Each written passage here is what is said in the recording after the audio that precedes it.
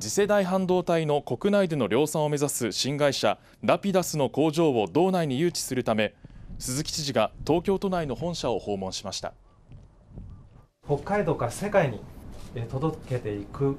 この実現に向けてですね我々としてはぜひあの北海道でこの取り組みを